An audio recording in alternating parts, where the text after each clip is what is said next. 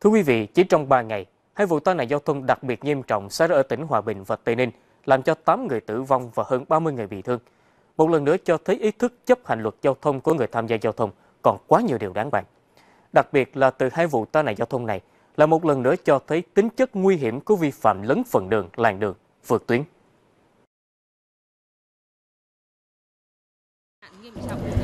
Đây là hiện trường vụ tai nạn giao thông nghiêm trọng xảy ra trên địa bàn huyện Mai Châu, tỉnh Hòa Bình vào lúc 0 giờ 15 phút ngày 17 tháng 6, khiến cho 3 người chết và hơn 37 hành khách bị thương nặng.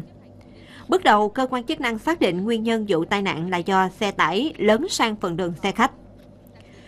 Trước đó, vài ngày, khoảng 6 giờ sáng cùng ngày, xe container kéo theo thùng hàng lưu thông trên quốc lộ 22 hướng từ thành phố Hồ Chí Minh đi Tây Ninh với tốc độ khá nhanh.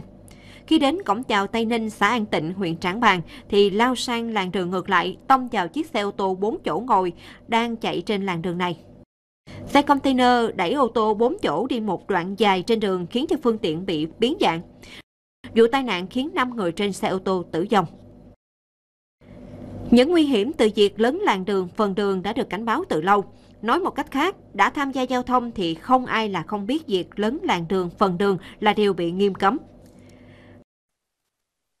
Để ngăn chặn người tham gia giao thông vi phạm quy định này, Nghị định 46 của Chính phủ quy định mức xử phạt vi phạm hành chính đối với hành vi vi phạm đi không đúng phần đường làng đường. Đối với xe ô tô vi phạm bị phạt tiền từ 800.000 đồng đến 1 triệu 200.000 đồng. Xe mô tô vi phạm phạt tiền từ 300.000 đồng đến 400.000 đồng.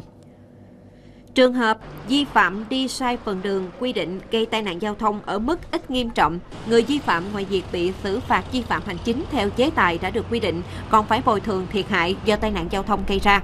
Còn đối với trường hợp gây tai nạn giao thông từ mức nghiêm trọng trở lên bị xử lý hình sự. Mặc dù quy định rõ ràng là vậy, song thực tế đây lại là một trong những vi phạm phổ biến nhất. Quan sát trên các tuyến quốc lộ, tỉnh lộ, nội ô thành phố, không khó để bắt gặp hình ảnh những người lái xe giành đường, lấn tuyến.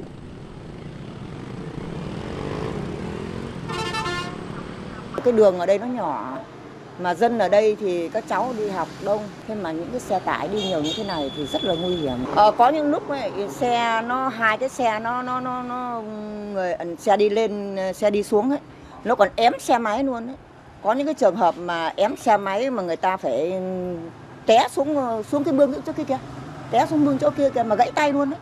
Là ờ, xe là thường xuyên là lấn làn bởi do nó đường nó nhỏ. Đó. Mà trong khi đó là người đi uh, bộ hoặc như là người đi xe máy là lúc đó là xe lấn làn mà chạy ầm ầm. Đó, còi cứ rú hàng hàng hàng mấy trăm mét luôn. Đó. thường xuyên là xe lấn lấn làn. Đó. Mà là xe chạy là như tử thần đấy chứ không phải là cái chuyện xe chạy từ từ đâu là cái đường này đường Quốc Tân là rất là nguy hiểm. Đường hẹp các phương tiện giao thông lấn làn đường của nhau đã đành. Ngay cả khi đường rộng thoáng, nhiều làn xe vi phạm đi sai làn đường phần đường vẫn diễn ra phổ biến.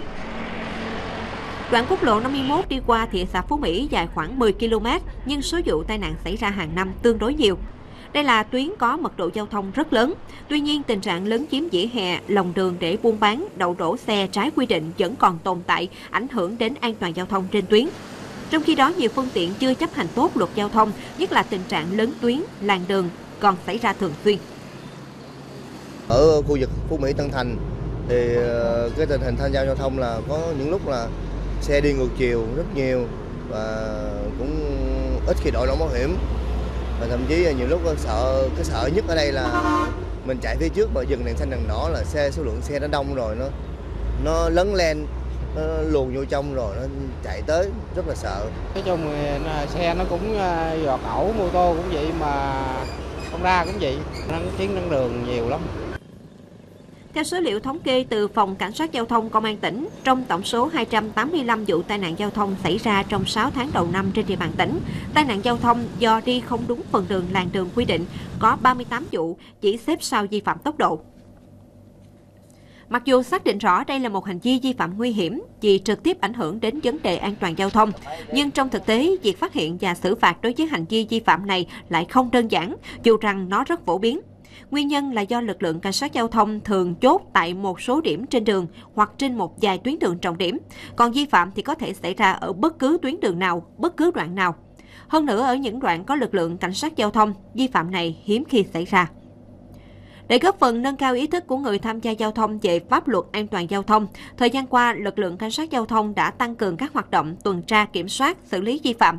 Mặc dù vậy, việc ngăn chặn hành vi vi phạm này cũng chưa đạt kết quả như mong muốn, tiềm ẩn nhiều nguy cơ gây tai nạn giao thông.